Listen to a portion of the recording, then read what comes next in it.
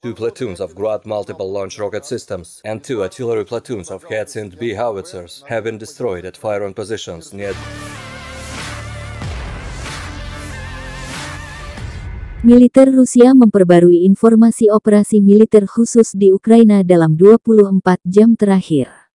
Juru bicara militer Rusia Igor Konasenkov merilis serangan rudal berbasis udara presisi tinggi menghancurkan 180 prajurit dan 26 peralatan militer dari Brigadi Mekanis ke-30 Angkatan Bersenjata Ukraina di dekat Artemovsk di Republik Rakyat Donetsk. Selain itu, Senjata presisi tinggi dari pasukan Dirgantara Rusia mengeliminir 12 area konsentrasi prajurit dan peralatan militer Ukraina.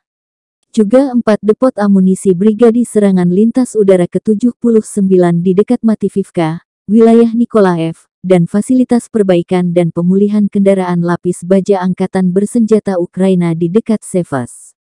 Igor Konasenkov juga merilis unit operasi taktis dan Angkatan Udara Rusia, Pasukan rudal dan artileri menetralisir tiga pos komando Angkatan Bersenjata Ukraina, tiga depot amunisi, 97 area unit artileri Ukraina di posisi penembakan, serta 111 area konsentrasi prajurit dan peralatan militer.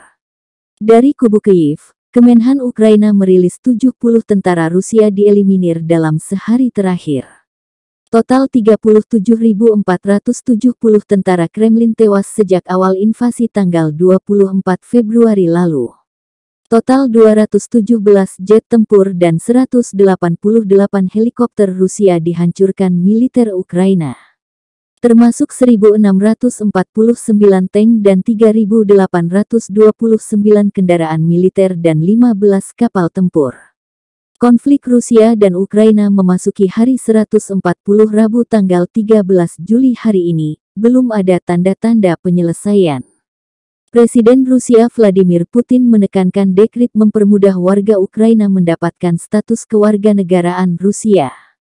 Putusan ini membuat otoritas Ukraina marah besar dan meminta Barat menjatuhkan sanksi lebih keras lagi.